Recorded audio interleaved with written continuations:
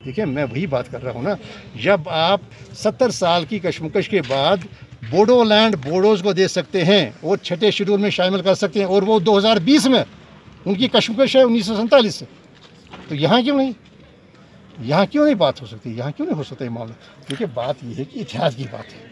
इकट्ठे, और हम आई, और हम जो भी मांग रहे हैं, वो आइन के हदूद के अंदर है। इसका इसका जो वादा था, वो वादा किया था आइन में, वो हमारा अपना आइन तो ये थोड़ी हम कह रहे हैं कि आइन के बाहर कोई बात है। आइन तीन सौ सत्तर तो आइन का हिस्सा था ना? कॉन्स्टिट्यूंट असम्बली ने बनाया था ना? आइन साज असम्बली हिंदुस्तान की जिस पर सब जोमा थे सारे सारे जो बड़े बड़े सियासतदान थे उनके दस्खत सब थे। तो नेशनल कॉन्फ्रेंस क्या पंचायत इलेक्शन में हिस्सा ले रही है? देखिए जी सारे फैसले जो होते हैं ये क्यादत के फैसले होते हैं। ये हमारी लेवल पर नहीं होता। वो क़्यादत बैठेगी, आप देखिए, एक नई पेशरफ हो गई, एक अलायंस बन गई, अवामी इतिहाद बन गया, और उस अवामी इतिहाद का हदफ भी मुकर हो गया, मकसद भी मुकर हो गया, मंजिल भी मुकर हो गई। तो उस तनाजुर में, उस पर सारे फैसले लिए जाएँगे। शुक्रिया।